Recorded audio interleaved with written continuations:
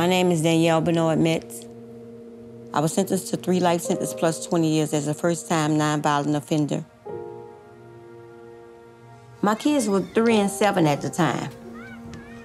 Year after year, we pray the same prayer. Mama gonna come home and it's gonna be like it used to be.